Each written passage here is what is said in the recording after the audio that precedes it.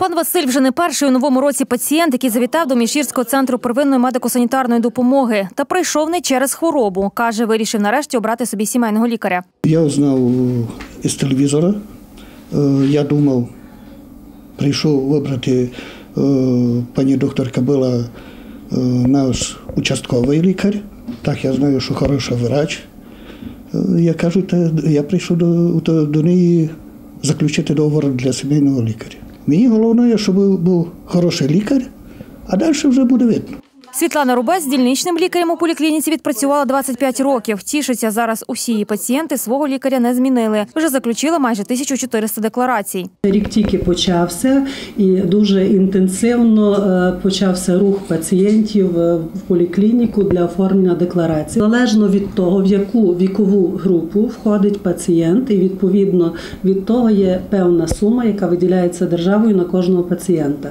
Е, В середньому 370 гривень на рік на одну особу, плюс коефіцієнт залежно від вікової групи. Згідно основних положень медреформи, праця лікарів оплачується залежно від того, чи є у них реальні пацієнти. Тож лікарі Міжгірщини досить активно взялись її впроваджувати.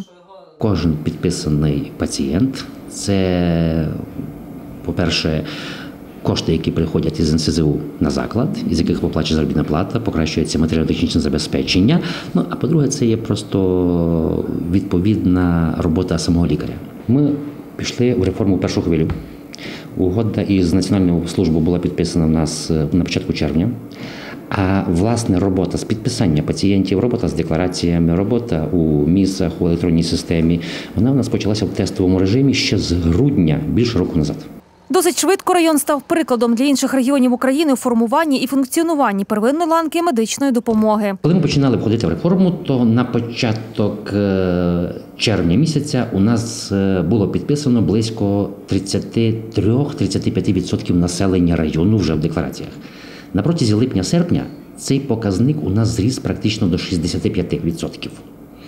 А от на протязі останніх трьох місяців він піднявся вже до 77%. Тобто з кожним місяцем ця динаміка трошки зменшується. З навчанням персоналу проблем не виникало. З обладнанням також за кошти, виділені завдяки спільному проекту з банком реконструкції та розвитку за підтримки Закарпатської ОДА, вдалося закупити сім комп'ютерів та інше обладнання, кардіографи, глюкометри тощо. 22 комп'ютери купили за власні кошти за підтримки районної ради. У нашому районі е, є 17 амбулаторій і 20 фельдш- фельдшерсько-акушерських пунктів. Значить, е, ну, ця підписна наша компанія, звичайно, е, потребувала, щоб був всюди інтернет. Це дуже багато, це дуже важко, бо є дуже віддалені райони. Але старалися, підключили провайдерів, підключили всіх, кого могли, щоб всюди був інтернет, і щоб ми могли під- е, заключати декларації. Зараз у районі приблизно 80% пацієнтів вже заключили декларації з сімейними лікарями, а це один з найкращих показників області. Вже перші появилися так звані ластівочки, коли не можуть вибрати свого сімейного лікаря пацієнти у зв'язку з тим, що він вже перенабрав ліміт. Тобто, хто запізнився, той не встиг. Для сімейного лікаря це є ліміт. Є, є лікарі, які набрали 1800. Вже наступний етап після реформи первинної ланки розпочнеться з другої половини 2019 року.